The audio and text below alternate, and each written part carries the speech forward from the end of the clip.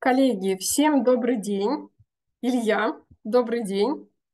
Мы с вами продолжаем обсуждать научные открытия. И сегодня нас ждет лекция, на которой мы говорим, поговорим про последние десятилетия. Наш лектор Илья Кабанов. Илья, передаю вам слово. Как обычно, буду вам помогать в модерации, задавать вопросы, если будут поступать в чат. А, спасибо, Настя. Добрый день, дорогие друзья. Очень рад вас видеть. Спасибо, что присоединились. Если вы решили выделить час на лекцию о науке, значит, нам точно есть о чем с вами поговорить. Я вас считаю моими единомышленниками. И если вы смотрите нас в записи, вам тоже привет. Обязательно покажите запись лекции детям. А, мне кажется, им будет интересно и полезно. На прошлой лекции мы с вами говорили про научные открытия прошлого года, 2022 года. Сегодня моя задача более масштабная и амбициозная. Я хочу рассказать о том, что делали ученые в последние 10-13 лет. Я взял десятилетие в широком смысле. Это не календарные 10 лет, а плюс-минус. А, наверное, самые ранние открытия, о которых я буду говорить, датированы примерно 2010 годом, а последние происходят прямо сейчас на наших глазах. Сейчас я запущу презентацию и сделаю небольшое вступление, которое очень важное. Оно нам пригодится потом. А, пожалуйста, пишите вопросы а, в чате. Можно спрашивать про те а, научные открытия, которые я выбрал.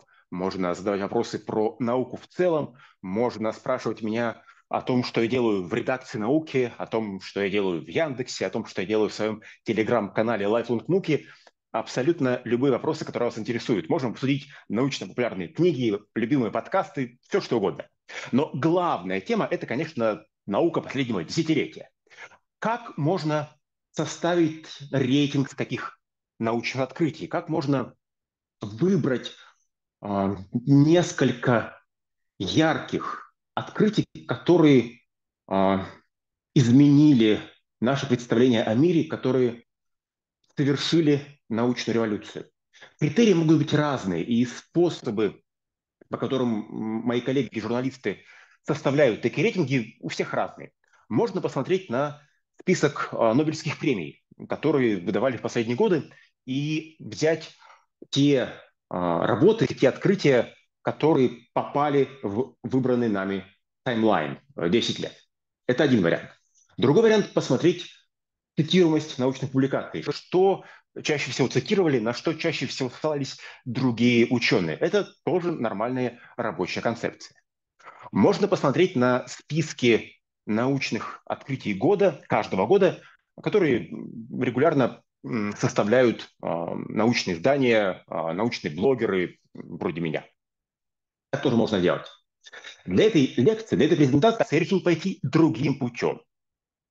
Я решил, что раз мы живем в 2023 году, а, во время победившего или побеждающего искусственного интеллекта, значит, нужно попробовать использовать искусственный интеллект и обратиться к нему за помощью. Я открыл чат GPT, всем известный э, алгоритм э, генерации или предсказания текстов, и попросил эту нейросеть составить список важнейших научных открытий после 2009 года.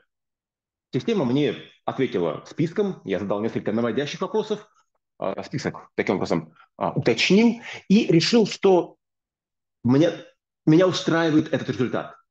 Это научные открытия, о которых интересно рассказывать и которые точно заслуживают нашего внимания. Я не стал ничего добавлять, поэтому есть определенные ограничения у этого набора. Например, почему-то нейросеть не включила никаких открытий из области археологии, палеонтологии и антропологии. Поэтому никаких динозавров и древних людей не будет. Единственный динозавр – это а, изображение на моем свитере сегодня. Но, возможно, это говорит про а, байс обучающей выборки. Все-таки а, научные журналы больше внимания уделяют физике, астрономии, биотехнологиям, поэтому, вероятно, нейросети было проще обучиться на данных про такие открытия, чем на а, информации про палеонтологию и антропологию. Но раз я решил играть по таким правилам, нужно их придерживаться. Дальше я сделал следующий шаг. Я решил, что и презентацию тоже нужно сделать с помощью искусственного интеллекта. Поэтому все иллюстрации, все картинки, которые вы сегодня увидите, это продукт Midjourney, а, такой система генерации изображений. Я давал а, фронт запрос, который состоял из названия открытия. Система генерировала для меня изображение, я выбирал наиболее релевантные. И моя идея была в том, чтобы протестировать возможность использования нейросетей в качестве э, замены э, научных иллюстраторов. Можно ли использовать нейросети для иллюстрации научных статей? Оказалось, что в некоторых случаях можно, и некоторые иллюстрации получились очень качественными и очень точными с научной точки зрения. Другие были чуть э, менее аккуратные. Но я все равно их включил, и если вам будет интересно, можем это обсудить. Итак, на этом мое вступление практически завершено. Приступаем к презентации, приступаем к лекции. Конечно, не смогу подробно рассказать про каждое из этих открытий. Для этого нужно быть одновременно физиком, астрономом, биологом, генетиком, кем только, и еще специалистом в разных других науках. Я всего лишь научный журналист. Но в конце, как всегда, будет ссылка на страницу, где я перечислил все источники и все дополнительные материалы, которые могут вам помочь. Лекции, интервью с учеными, а, посты в блогах, все, что а, позволит расширить ваш кругозор и глубже погрузиться в эти темы. Там уже будут и ссылки на некоторые ролики, которые делал в редакции науки по этим темам. Они тоже позволят чуть лучше понять суть открытий и разработок, о которых я буду сегодня говорить. Итак, теперь мы точно можем начать. А, спасибо, что были со мной на протяжении этого введения. Теперь совершаем наше путешествие во времени. Отправляемся в прошлое, чтобы выяснить, чем же занимались ученые. И начать я хочу с физики. Если вы не фанаты физики, а, пожалуйста, не расходитесь. Я постараюсь очень а, просто и доступно объяснить очень сложные физические концепции.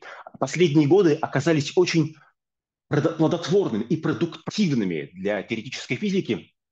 Ученые благодаря сложнейшим научным инструментам собрали огромный объем научных данных, которые перевернули наше представление о мире и позволили уточнить многие давно существующие теоретические концепции. Мы с вами живем в эпоху, когда благодаря этим сложнейшим научным инструментам ученые получают кучу экспериментальных данных, которые еще недавно казались фантастикой. А ученые могли только силой мысли предполагать, как устроен мир, а теперь можем наблюдать реализацию их теорий, их гипотез в физическом мире. Это очень интересно, и прорывов в этой области было много. Ну, мы с нейросетью выбрали, наверное, самые яркие, самые известные, то, о чем все говорили, все писали, и, наверное, вы об этом тоже слышали.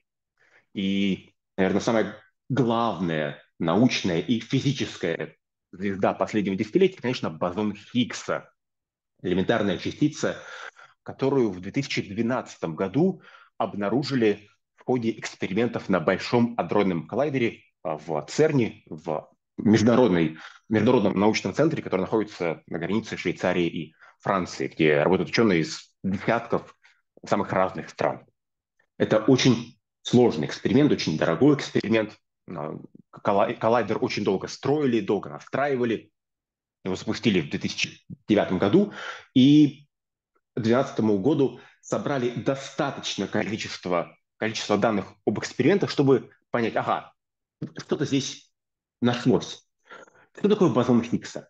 Бозон Хиггса – это частица, благодаря которой мы с вами существуем. Если бы бозона Хиггса не было, я бы не существовал, вас бы не существовало, не было бы нашей Земли, не было бы Солнца, не было бы ничего. Потому что бозон Хиггса, если очень сильно упрощать, отвечает за то, что у других частиц, из которых мы все с вами состоим, есть масса. То есть без бозона Хиггса все частицы были бы невесомыми. Они летали бы по Вселенной, летали бы по космосу, между собой никак не взаимодействовали бы, и не смогли бы образовываться звезды, не смогли бы образовываться планеты, не смогли бы образоваться мы с вами. Очень довольно сомнительная перспектива, так что спасибо Бозону Хиггсу за то, что мы есть. И а, Бозон Хиггса предсказал человек по фамилии Хиггс, Питер Хиггс, еще в 1964 году. То есть практически 50 лет он ждал экспериментального подтверждения своей гипотезы. Наконец-то дождался, он дожил, и он не просто увидел, как его теория воплощается в жизнь, он еще и успел получить за это Нобелевскую премию. И мне кажется, это пример для всех нас. Если очень долго ждать, обязательно можно получить желанный результат. Следующее физическое открытие, которое я хочу, о котором я хочу рассказать, это тоже история про экспериментальное подтверждение давно существующей теории. Но если подтверждение теории Питера Хиггса пришлось ждать почти полвека, то наши следующие герои ждали экспериментального подтверждения ровно 100 лет. В 2015 году физики сообщили о том, что они впервые могли а, детектировать, то есть обнаружить гравитационные волны, которые Эйнштейн предсказал еще сто лет назад. Что такое гравитационные волны? В двух словах это м, как рябь на воде. Когда мы бросаем в озеро или в лужу камушек, мы видим, что от места падения распространяются волны по всей поверхности этого водоема. В масштабах Вселенной происходит то же самое. Когда сталкиваются какие-то очень массивные объекты, например, две черные дыры, которые здесь нейросеть попыталась изобразить, они вызывают рябь пространства-времени. И эта рябь распространяется во все стороны Вселенной. С помощью очень сложных инструментов мы можем эту рябь обнаружить. И именно это произошло 8 лет назад. Для того, чтобы заметить эту рябь, пришлось построить эм, огромный лазерный интерферометр. То есть это такая сеть лазеров, которые э, могут, лучи которых отклоняются э, при появлении э, какого-то возмущения гравитационного поля. И после этого первого примера такие гравитационные волны стали обнаруживать снова и снова. По сути, мы с вами теперь живем а, в новую эпоху, эпоху гравитационной астрономии. Еще недавно ученые могли наблюдать Вселенную в оптическом диапазоне, то есть смотреть глазами, они могли наблюдать ее в радиодиапазоне, то есть слушать, они могли наблюдать наблюдать ее в инфракрасном диапазоне, который человеческому взгляду недоступен. Но теперь у нас появился еще один способ наблюдения Вселенной с помощью гравитационных волн. Это позволяет получить э, множество данных про черные дыры, как они взаимодействуют друг с другом, как они влияют на окружающий космос. Э, и, наверное, чем дальше, тем больше открытий будет происходить благодаря гравитационным волнам. И это яркий пример того, как движется современная наука. Сначала ученые делают предсказания, потом эти предсказания теоретически проверяют другие ученые, и если а, научный консенсус сводится к тому, что да, здесь, здесь есть какое-то рациональное зерно, можно это проверять экспериментально. Можно тратить деньги на строительство огромных инструментов, огромных экспериментальных установок в надежде найти э, доказательства того, что теория действительно а, оправдана, она а, логична, она существует, и она описывает не какие-то фантазии, а реально существующие физические явления. Идем дальше. А, от такой очень абстрактной и фундаментальной области перейдем к более понятной, к более простой. Поговорим про космические исследования. Ну, наверное, многие из вас в детстве думали про а, карьеру космонавтов. Я тоже немножко про это думал, но потом узнал, а, какими сложностями приходится сталкиваться настоящим космонавтом, решил, что это все-таки не для меня, поэтому я буду просто писать про космонавтику, а в космос пусть летают другие люди. И в области космических исследований тоже было много прорывов. Я не буду сейчас говорить про пилотируемую космонавтику, это отдельная тема, там тоже было много всего интересного.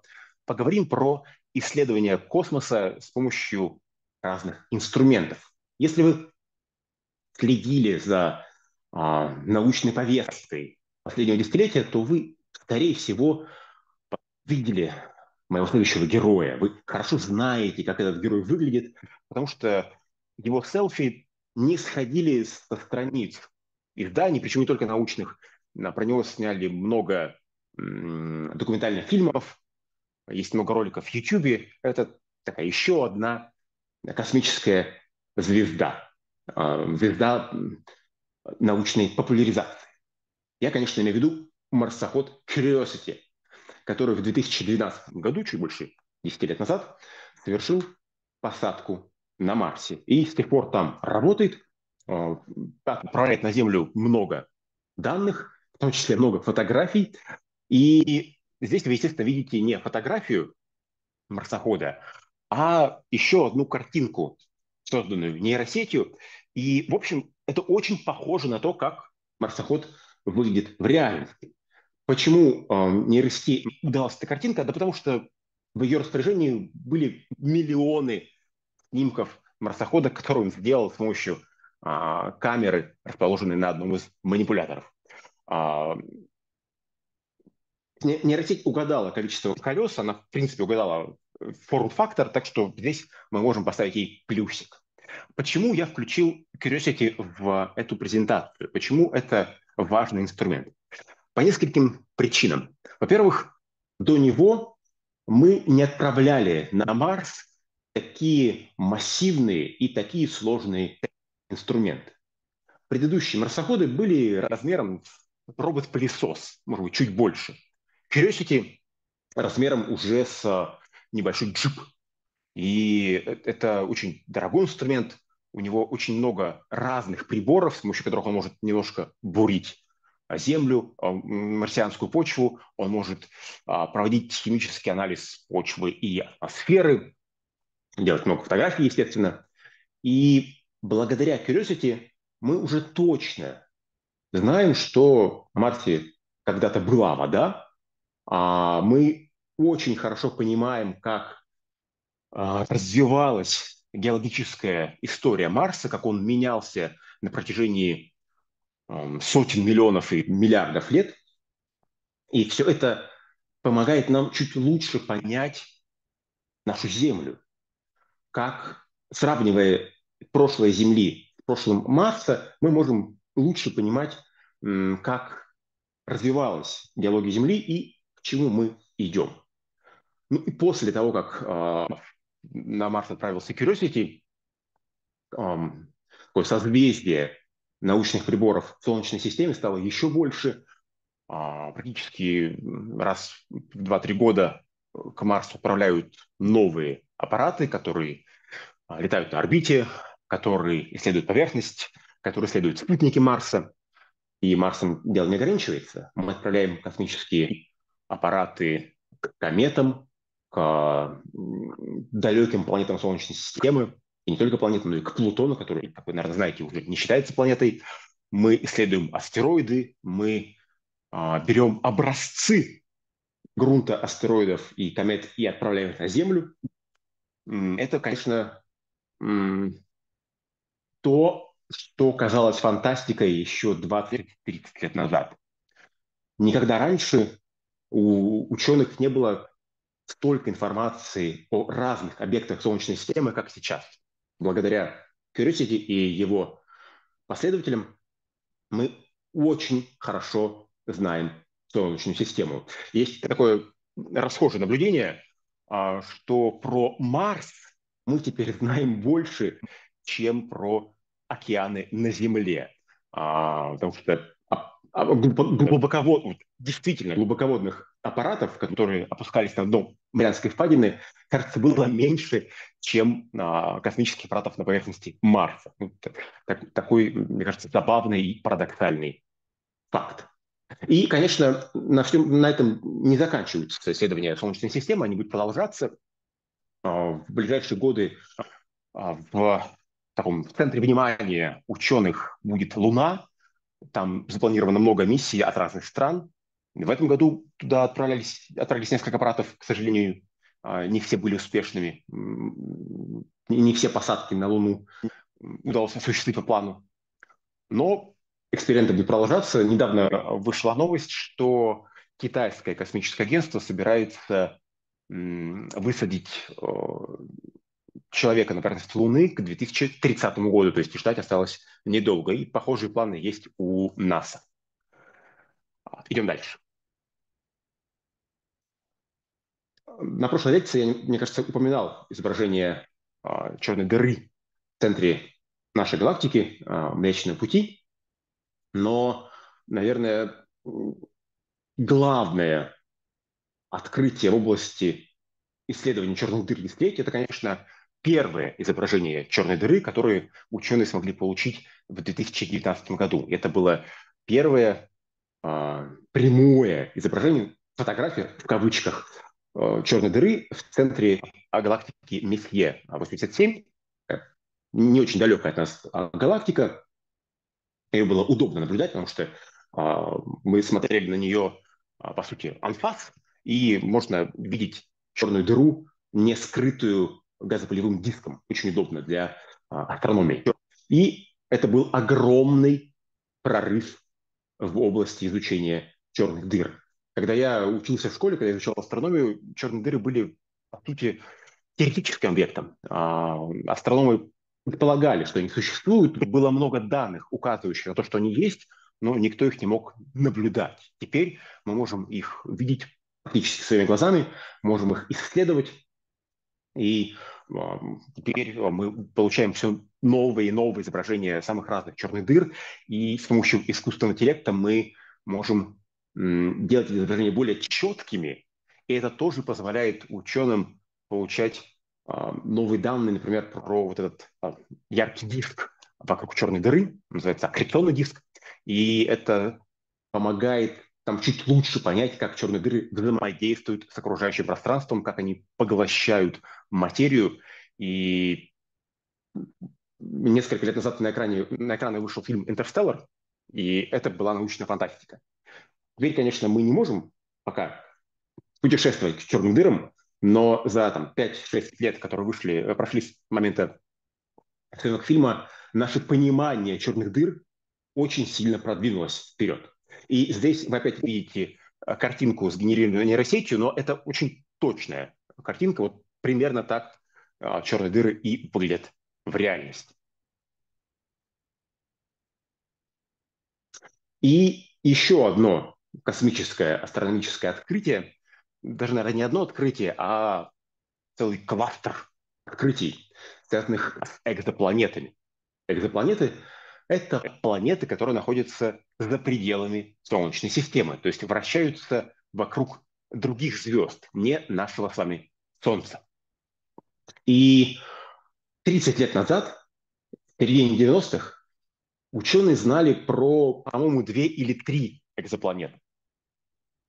15-20 лет назад а, были данные про несколько десятков экзопланет. Сегодня мы знаем про порядка пять с половиной тысяч экзопланет. Это точно подтвержденные экзопланеты. Они точно есть, и мы более-менее хорошо представляем, как они выглядят и какие процессы а, происходят на их поверхности. И еще несколько тысяч – это кандидаты в экзопланеты. То есть, судя по всему, они есть, но пока еще нужно это подтвердить. Вот такой масштаб а, прогресса в этой области. Почему? Простите. А, вопрос э, от Алексея. Что за отблеск похоже на блик? Я так понимаю, что это по поводу предыдущей. Да. А, давайте я закончу про экзопланету, потом расскажу про, про черную дыру. Да. Если будут вопросы, тогда сразу на, на все ответить. А, Да, так почему, почему мы так много экзопланет открыли? Что, что, помогло этому сделать? Может быть, мы стали лучше видеть, лучше слышать? Ну, в некотором смысле, да. У нас появились новые глаза. Новые глаза в космосе. В 2009 году начал работать а, космический телескоп Кеплер, который создавали специально для того, чтобы он искал экзопланеты. И он несколько лет назад вышел из строя, завершил свою миссию. За это время он открыл несколько тысяч экзопланет. И другие телескопы тоже а, в этом плане хорошо отметились. В прошлом году начал работать самый новый орбитальный телескоп, телескоп а, Джеймса Уэбба, который в том числе занимается изучением экзопланет. И хотя он работает совсем ничего, практически год, он уже многое нам показал. Например, он занимается исследованием атмосфер экзопланет, и в прошлом году была очень интересная новость. А, телескоп Джеймса Уэбба смог изучить состав экзопланеты, которая находится на расстоянии 700, 700 световых лет от Земли. И это экзопланета относится к типу горячих Юпитеров. А что это означает? означает, что это э, газовый гигант размером с нашей э, Юпитер или, или Сатурн, но этот газовый гигант обращается вокруг своей родительской звезды на очень коротком расстоянии. Он находится ближе к звезде, э, чем наш Меркурий находится ближе к Солнцу. И там, по-моему, в 8 раз ближе к звезде, чем Меркурий к Солнцу. Очень близко. И известно, что он очень а, горячий, очень раскаленный. И понимание процессов, происходящих в атмосфере таких планет, а, очень сильно расширяют наше представление о Вселенной.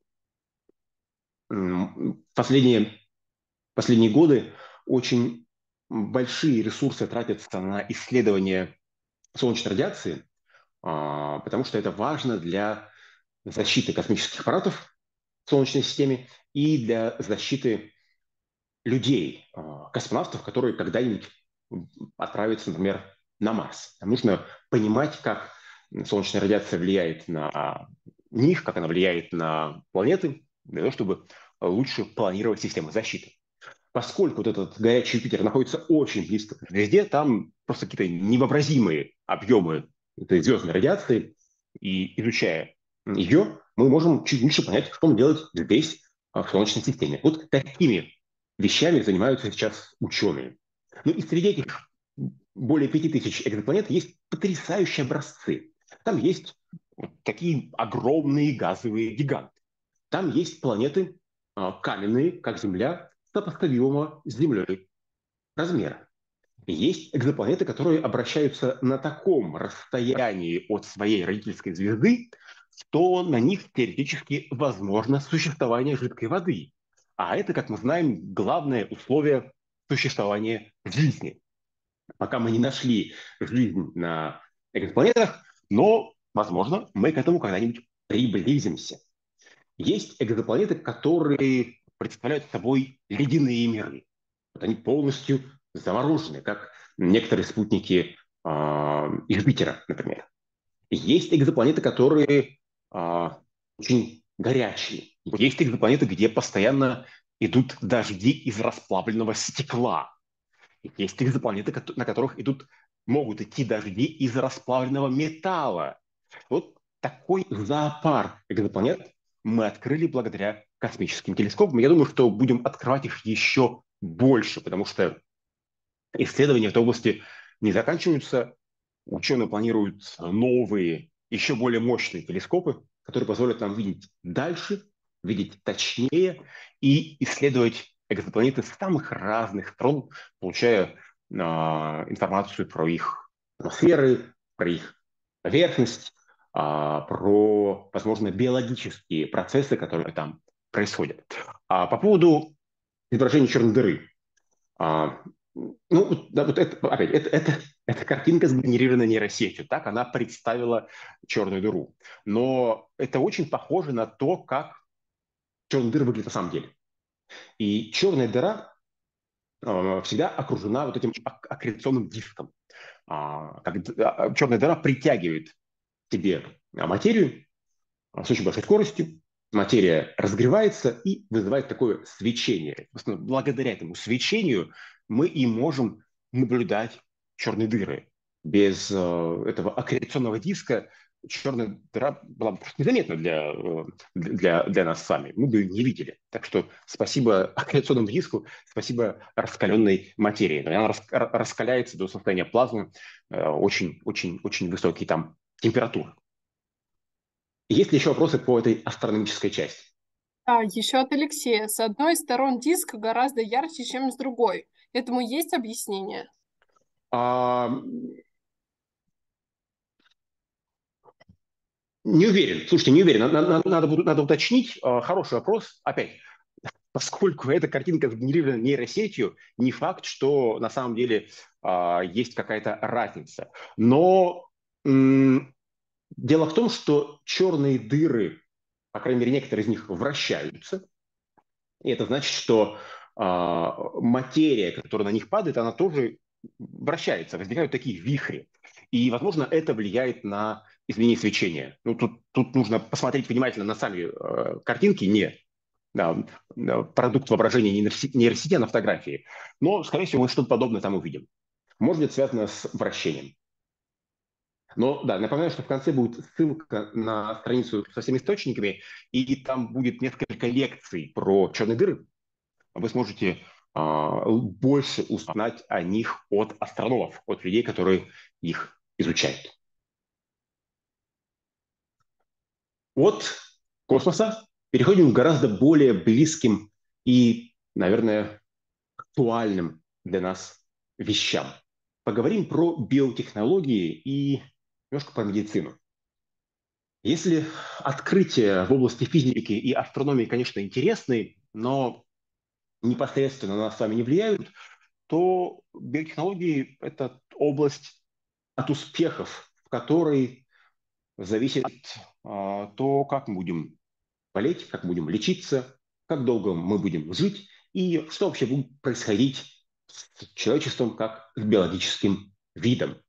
И в этой области тоже было много прорывов. И они, некоторые из этих прорывов тянут на настоящую революцию по масштабам сопоставимую, например, с открытием структуры ДНК а, в начале, в конце 50-х, или с открытием а, теории эволюции в 19 веке, или с открытием генетики в конце 19-го, начале 20 века. Вот о таких масштабах мы а, сейчас говорим, когда имеем в виду прорывы в области биотехнологий. Это вещи, которые абсолютно меняют правила игры.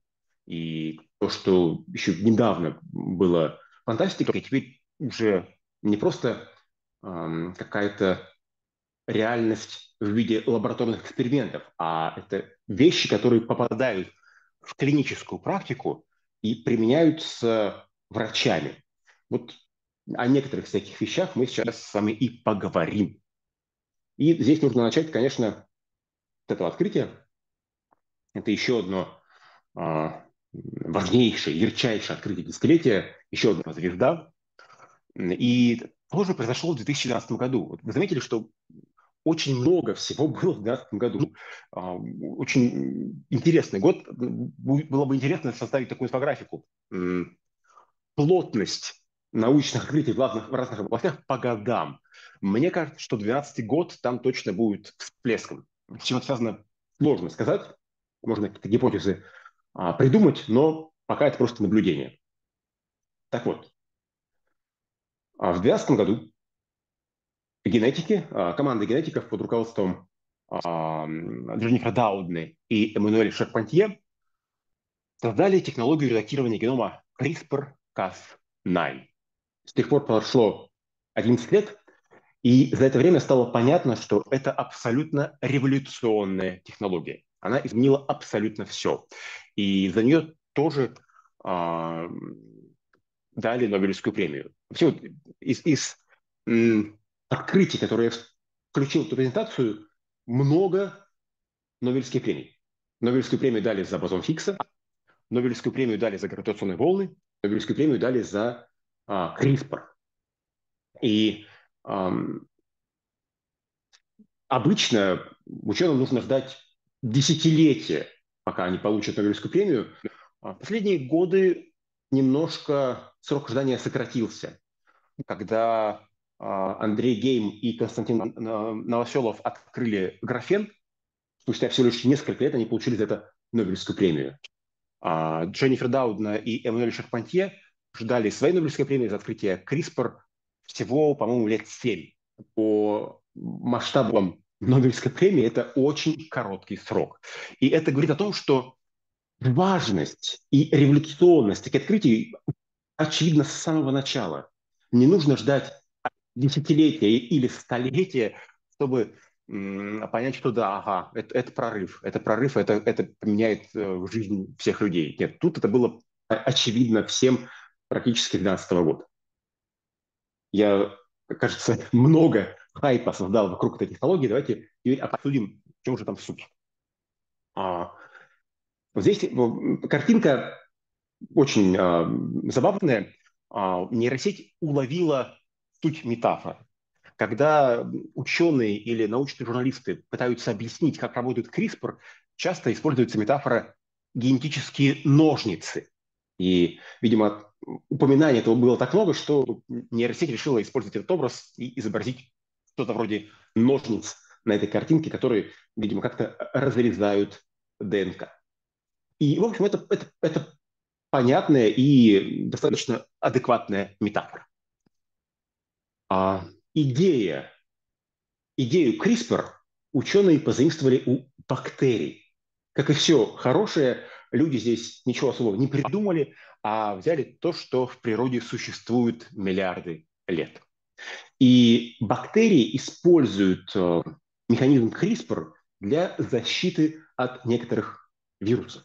Это такая генетическая особенность, которая позволяет бактериям менять ДНК нападающих на них вирусов и делать их э, безопасными. Таким образом, продлевая свою жизнь и существуя как вид сотни миллионов и миллиарды лет. Когда ученые разобрались с тем, как эта штука работает, стало понятно, что ее можно пустить на благо э, народного хозяйства и использовать для редактирования геномов самых разных живых организмов, от э, семян пшеницы до человеческих эмбрионов. И э, CRISPR-Cas9 – это таки, такой двойной инструмент, э, одна часть из которого работает как э, такой детектив, как ищейка, а второй как э, полицейский. Э, CRISPR э, находит э, некий поврежденный участок ДНК или а, участок, который а, мы хотим изменить. А Cas9 его вырезает или заменяет другим.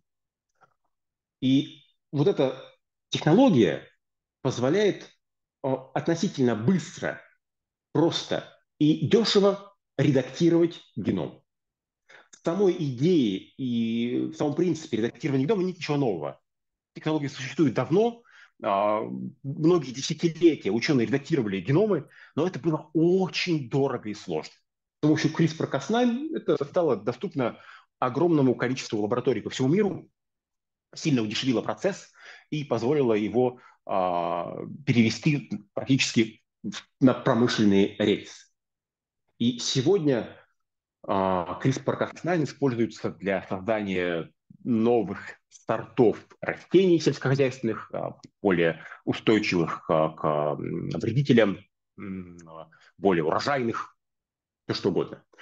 Эта же технология используется для разработки новых лекарств и способов терапии самых разных болезней, в том числе рака. Эта же технология используется для лечения наследственных заболеваний.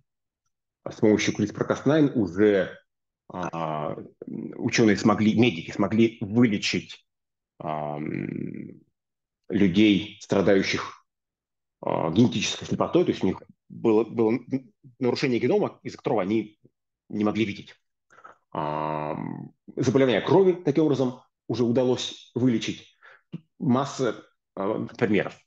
Возможно, вы слышали, что несколько лет назад а, в Китае а, был случай, когда ученый-генетик объявил о том, что он отредактировал геном эмбрионов человеческих, и родились дети с измененным геномом.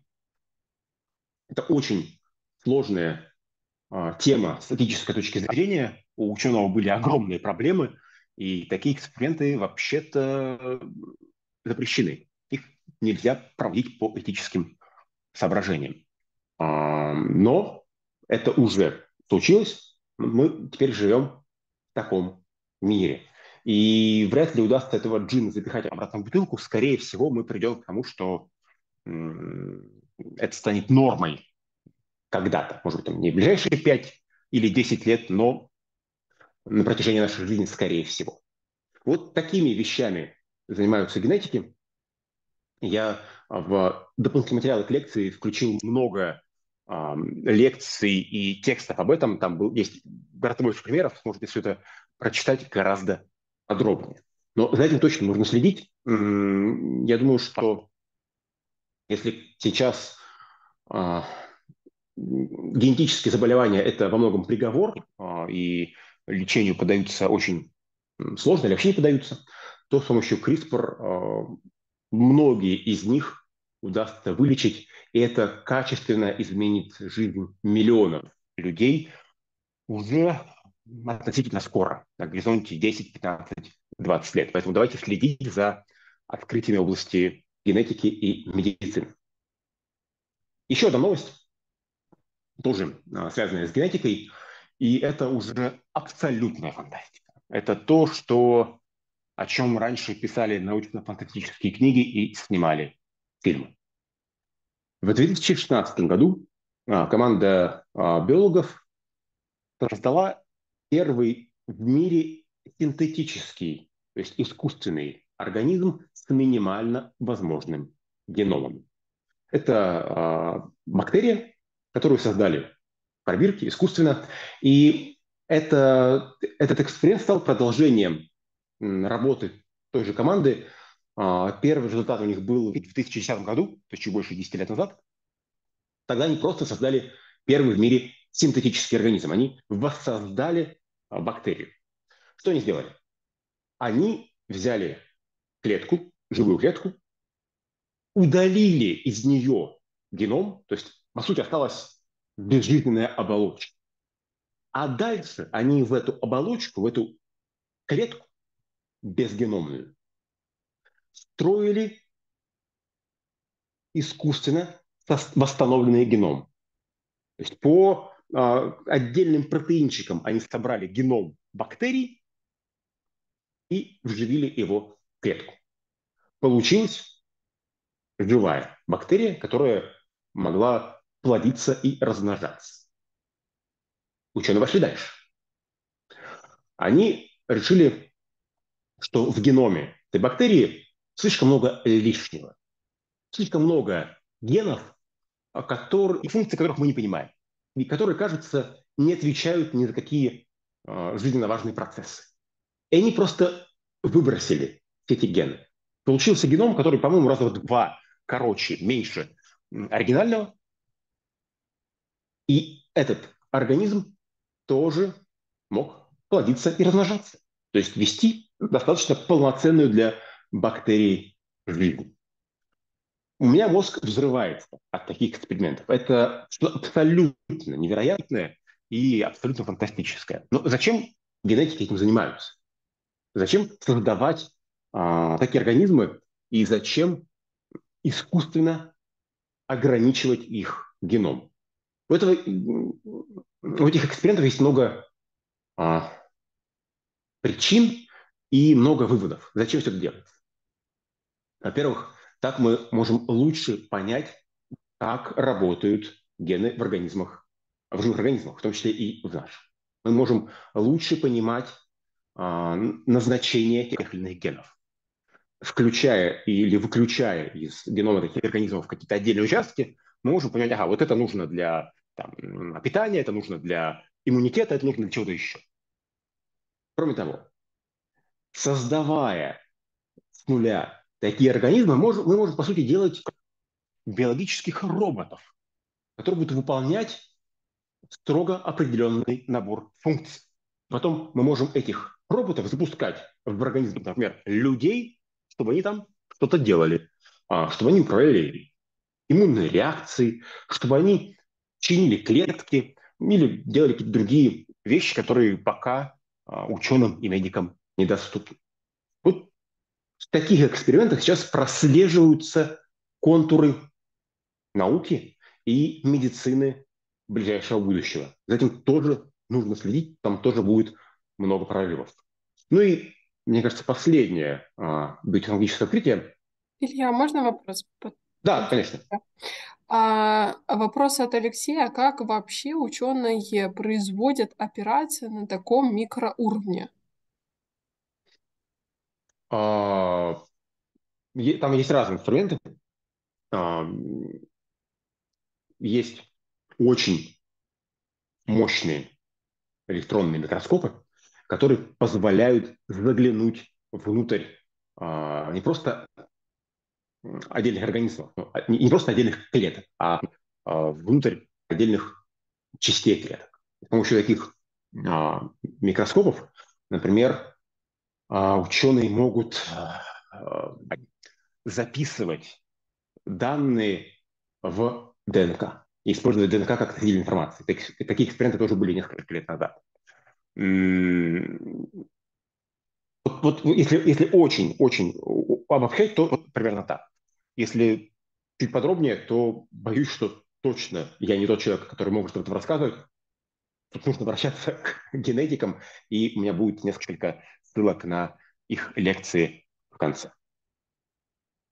Еще один эксперимент, который тоже немножко меняет наше представление о том, что возможно.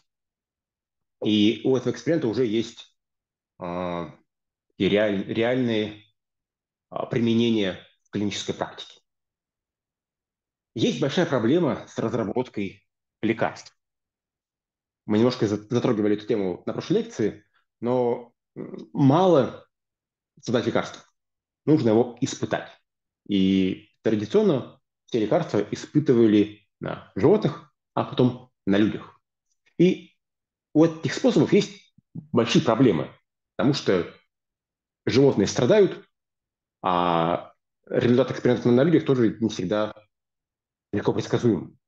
И если бы мы могли найти способ точно понимать, как те или иные лекарства работают в организме без испытания на животных людях, это было бы очень круто, это сильно продвинуло бы а, фармакологию вперед.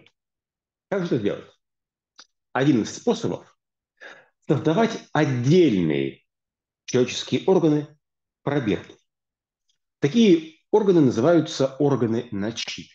И фактически ученые создают такого гибрида а, из кремния и а, биологических клеток, которые а, воссоздают или моделируют работу отдельных органов. Первый такой эксперимент провели в 2010 году. Это было легкое на чипе. Создали такой небольшого размера а, орган, который работал как легкое. И можно было на нем испытывать влияние разных препаратов на работу легкого. С тех пор создали огромное количество самых разных органов на чипе. Есть почки, печень, и, кажется, ученые постепенно приближаются к созданию мозга на чипе. Есть еще одно соседнее направление, мне кажется, я на прошлой лекции его упоминал, это а, органоиды. И органоиды – это такая очень простая версия органов на чипе. Это просто колония клеток, на которые особо ничего не умеют, но на которых тоже можно испытывать влияние разных веществ. И органоиды головного мозга уже существуют, и они используются в практике. То есть от них шагнуть к мозгу на чипе, в общем-то, не так сложно, и я думаю, что такие, такие примеры скоро должны появиться. Это, конечно, приближает нас к вопросу, а можем ли мы создать человека на чипе? Можем ли мы создать из отдельных таких органов маленького искусственного человечка? Ну, пока, конечно, нет. И если мы такого гольма когда-нибудь создадим, а, это будет очень интересное будущее. Ну, понятно, что а, ученые занимаются пока созданием очень отдельных а, отдельных органов, и так далеко не заглядывают. Но все эти органы на чипе уже используются для тестирования кандидатов в лекарства, и со временем таких экспериментов будет становиться все больше и больше. Это означает, что новые лекарства мы будем получать быстрее, и когда начнется какая-то очередная новая пандемия, может быть, мы увидим вакцины или лекарства не через год-полтора, а за несколько месяцев. Вот в таком направлении развивается сейчас биотехнологии. Есть ли вопросы по этой части? Нет, вопросов пока нету. Теперь мы переходим к одной из моих самых любимых тем, и она будет последняя. После этого можно будет обсудить в целом все открытия и, может быть, поговорить о том, что я упустил, точнее, не я, а нейросеть, которая сгенерировала этот список. И, конечно, нужно заканчивать компьютерными науками, потому что в этой области сейчас, наверное, плотность научных новостей самая высокая. И прогресс здесь, э, пожалуй, заметнее всего. Это связано с разными причинами. Одна из них – это то, что для многих исследований в области кибернетики не нужны супер дорогие установки. А, не нужны космические телескопы, которые стоят 10 миллиардов долларов. Не нужны а, ускорители частиц, которые стоят столько же. А, и не нужно экспериментировать на людях, как в случае прорывами в области биотехнологий. Поэтому, наверное, здесь мы видим чуть больше ярких новостей. И когда ученых, экспертов спрашивают про то, что произойдет быстрее, а, там, какие-то радикальные прорывы в области биотехнологий или в области энергетики, например, а, появление управляемого нейросинтеза или клонирование человека, или, с другой стороны, появление полноценного, сильного искусственного интеллекта, кажется, что консенсус сводится к тому, что искусственный интеллект появится раньше, чем а, прорывы или революции в области энергетики или биотехнологий. Потому что все-таки это чуть-чуть пока нам понятнее, и эксперименты в этой, в этой области чуть-чуть проще организовывать. Итак, чем ученые занимались в области кибернетики в последние годы? Я думаю, что вы понимаете а, направления, о которых я хочу поговорить, вы точно про них читали и, возможно, даже что-то используете в своей практике. И невозможно не упомянуть квантовые компьютеры и квантовые вычисления. Это область, а, в которой надежды возникают периодически, а, нам обещали революции в квантовых вычислениях много раз. Они пока не привели к каким-то ощутимым и заметным э, практическим проявлениям, но это все такой набор очень постепенных шажков, которые, наверное, приближают нас к цели. А цель – это создание коммерчески оправданного, а, энергетически оправданного и практически полезного квантового компьютера. Один из таких шажков произошел в 2012 году, когда Google объявил о достижении так называемого квантового превосходства. Что означает квантовое превосходство? Это значит, что квантовый компьютер смог совершить вычисления, которые для обычного компьютера были бы невозможны. Вот в случае с а, компьютером Гугла он справился с некой математической задачей за, по-моему, несколько часов, а по оценке этих исследователей обычным компьютерам а, это потребовало бы несколько тысяч лет. Это была очень громкая новость. Все про нее писали, все ее обсуждали. И конкуренты Google, из IBM и некоторых других компаний сказали, что, ребят, какая-то ерунда, а мы в это не верим.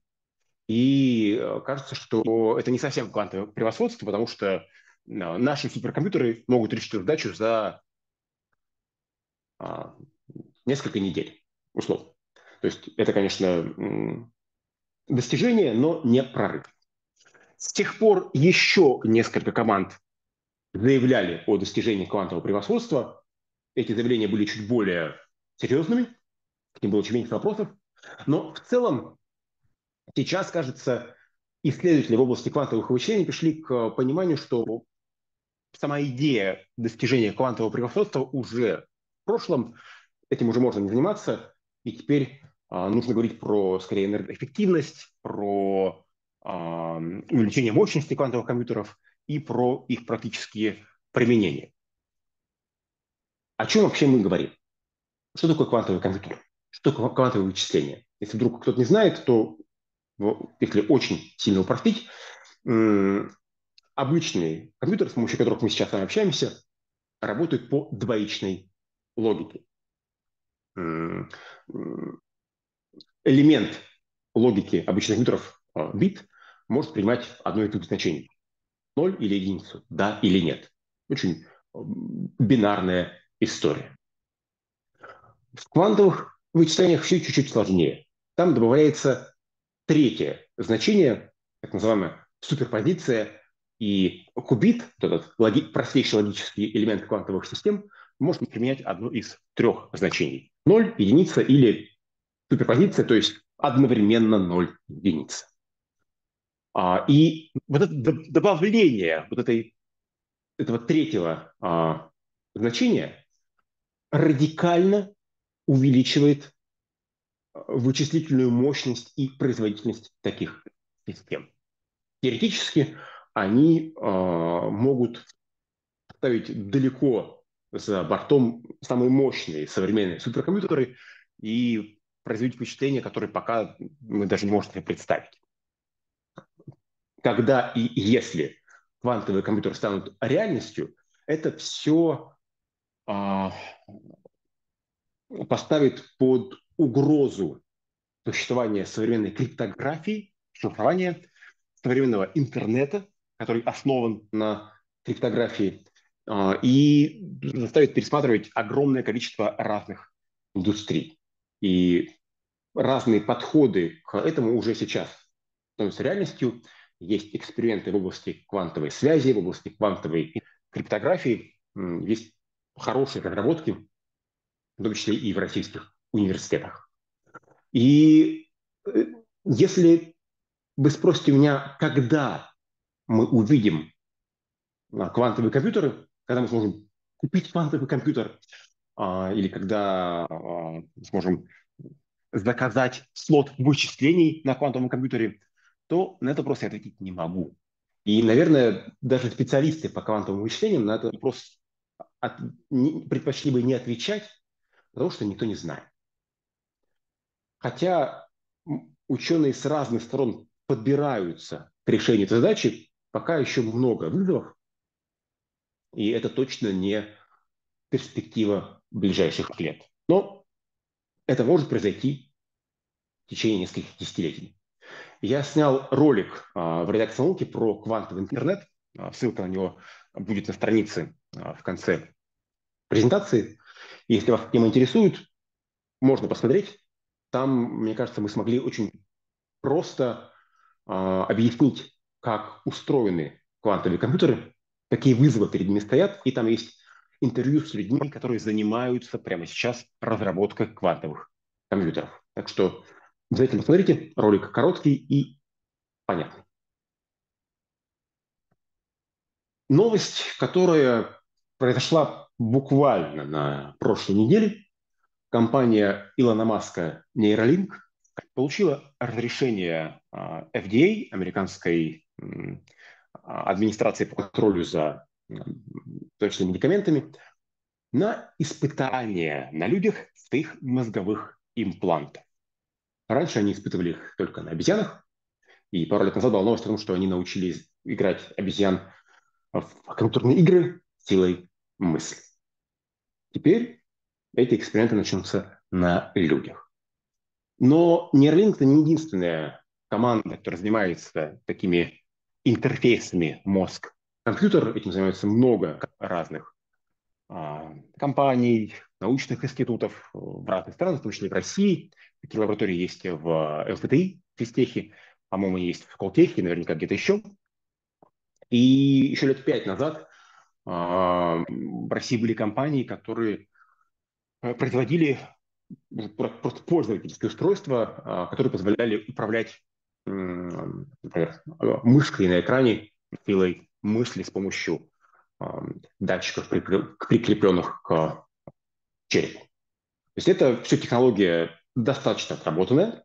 Это направление, в котором ведутся исследования на протяжении нескольких десятилетий. И это направление, в котором прорывов очень много. Есть нейроинтерфейсы, которые позволяют парализованным людям управлять экзоскелетом.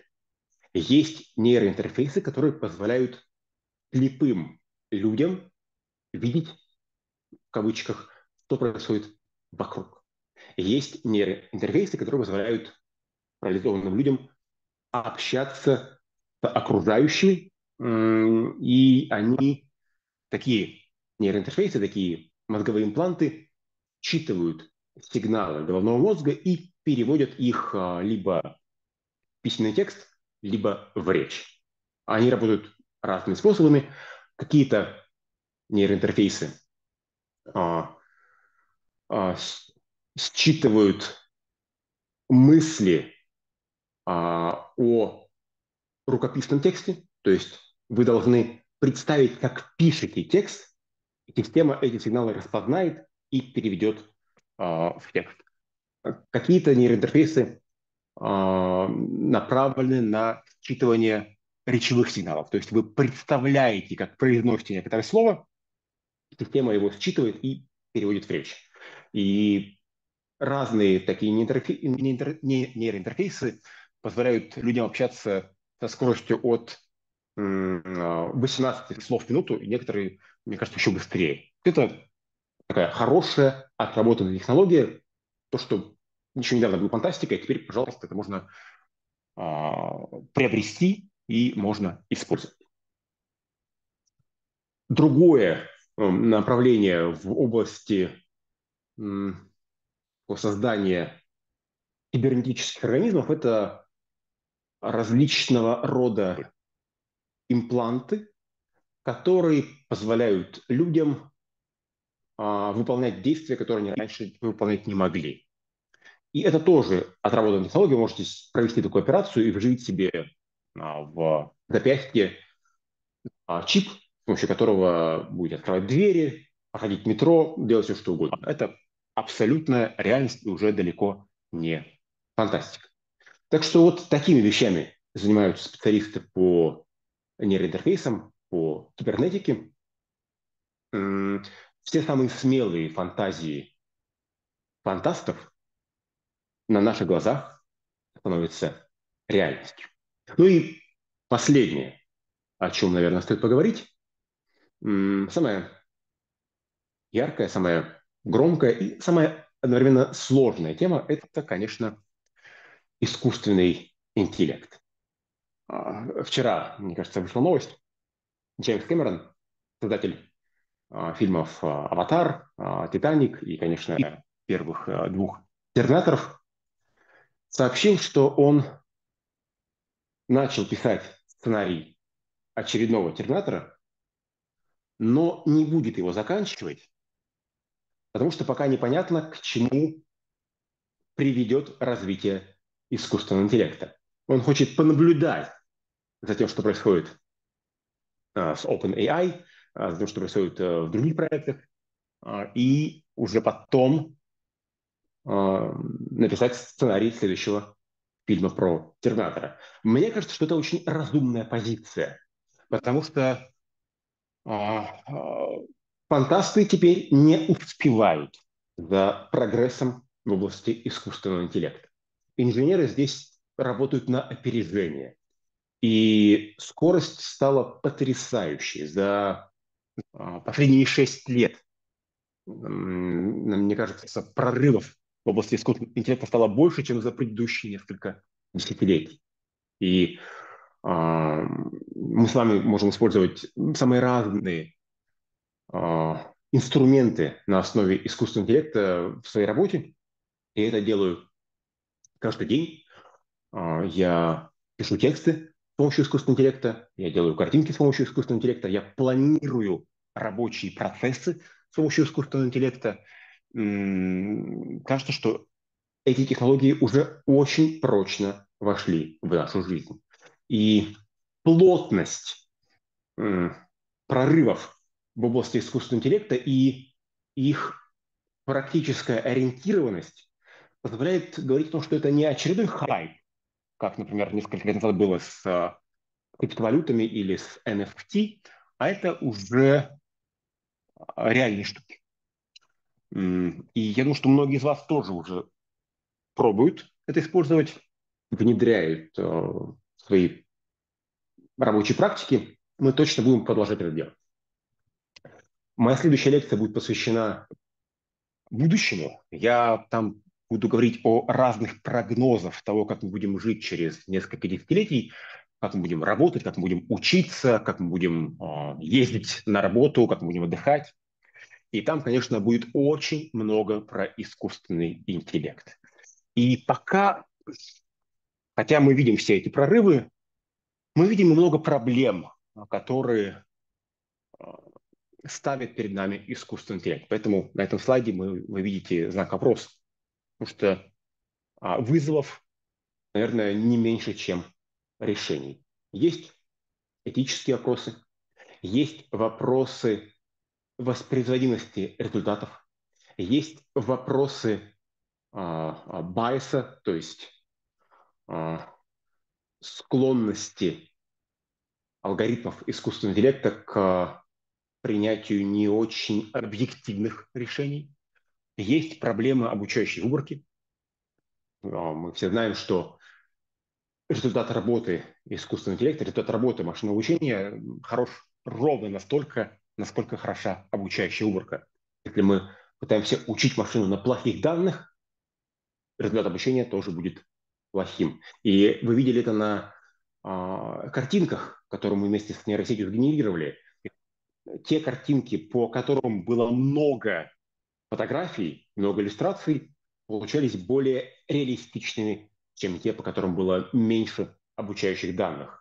И это справедливо и для изображений, и для текстов, и для а, алгоритмов, которые учатся управлять беспилотными автомобилями. Такая общая проблема искусственного интеллекта. И сейчас разные команды пытаются ее с разных сторон решать. У кого-то получается лучше, у кого-то хуже. И мы будем наблюдать за этим исследованием в ближайшие годы. Но я остаюсь оптимистом.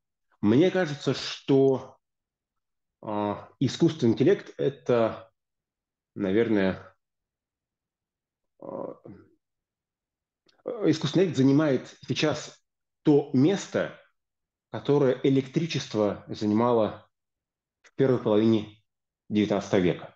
Было много экспериментов, было много подходов, было много идей, как это можно использовать, но до а, такого полноценной, до полноценной электрической революции еще оставалось какое-то время. Сейчас мы находимся а, примерно на таком же этапе применительно к, иску- к искусственному интеллекту. Мы видим его разные проявления, мы видим разные эксперименты, мы видим разные технологии, но это, конечно, пока не а, полноценный, сильный искусственный интеллект, не замена человеку. Это замена отдельных функций, которые могут выполнять люди. И машина эти отдельные функции сейчас делает лучше, чем человек. Но ни одна система искусственного интеллекта пока не делает э, все то, что может делать человек на самостоятельном уровне. Здесь э, мы пока в начале пути. Кажется, что мы к этому все-таки придем. Это не какая-то фантастическая идея, а вполне реальная цель. И, наверное, мысль, которую я хочу закончить, это то, что каждый из нас является что творцом, что креатором этого сильного искусственного интеллекта будущего. Каждое действие, которое мы сегодня совершаем а, на своих смартфонах, ноутбуках, в интернете, помогает машинам учиться. Каждый маршрут, который мы прокладываем в навигаторе, каждое письмо, которое мы отмечаем как спам, каждая картинка, которую мы генерируем во всех этих системах генерации изображений, каждый текст, который мы проверяем с помощью э, системы а, умной проверки орфографии, помогают машинам учиться. Каждая капча, которую мы проходим перед тем, как попасть на какие-то сайты или а, куда-то залогиниться, помогает машинам учиться. Мы все создаем будущее. Мы все являемся его творцами. А это означает, что мы все должны задумываться о результатах наших действий. Не только инженеры, но и мы с вами, пользователи. Мы должны понимать, к чему может привести развитие технологий. Мы должны обсуждать этические вопросы. Мы должны думать о том, каким мы хотим видеть регулирование этих областей и этих технологий. Потому что если мы не начнем в этом вдумываться сейчас, через несколько лет может стать поздно. А на этом я хочу завершить свою лекцию. Разумеется, я не смог осветить все научные прорывы десятилетия. Их было намного больше, чем мы с нейросетью помнили. И а, сюда не попали, например, исследования в области нейтрино, этих высокоэнергетичных элементарных частиц, которые пронизывают каждого из нас, а, и мы этого не замечаем. Сейчас ученых исследуют с помощью нейтрино лучше понимают, а, как устроена Вселенная. Сюда не попали многие исследования в области биотехнологий. Я ничего не сказал про клонирование. А, которая уже стала абсолютно реальной штукой. Мы далеко шагнули после клонирования овечки Доль. Я ничего не сказал про пилотируемую космонавтику, где прорыв происходит прямо на наших глазах. Только сегодня на Землю вернулся очередной полностью частный коммерческий космический экипаж. Еще недавно это казалось абсолютно безумием, как можно отправлять в космос а, частные экипажи без профессиональных пилотов. Оказалось, что можно. Технологии уже достигли такого уровня. Все эти и многие другие открытия остаются за скобками этой лекции. Мы можем их обсуждать во время наших будущих встреч, можем обсуждать их в социальных сетях. Давайте продолжать этот диалог.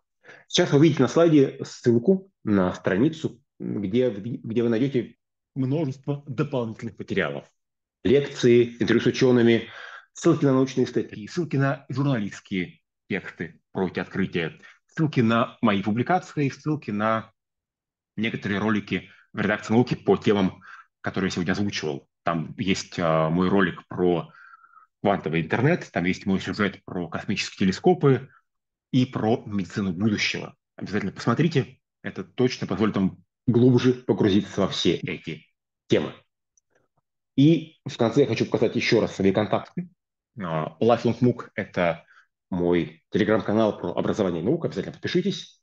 Hypertextual – это моя рассылка про новости науки и технологий. Ну и илья собачка кабанов.орг. Это мой адрес электронной почты. Пожалуйста, пишите, если у вас будут возникать любые вопросы о современной науке. Я с удовольствием на все буду отвечать. Я пришлю ссылки, а, которые, возможно, вам пригодятся и помогут. А, если вам показалось, что я что-то несправедливо вошел вниманием, мы можем судить это сейчас или а, потом в переписке. Ну и, конечно, обязательно приходите на следующую лекцию, которая пройдет через неделю.